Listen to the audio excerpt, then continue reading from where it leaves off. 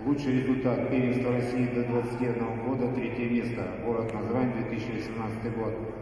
Занимается с 2008 года.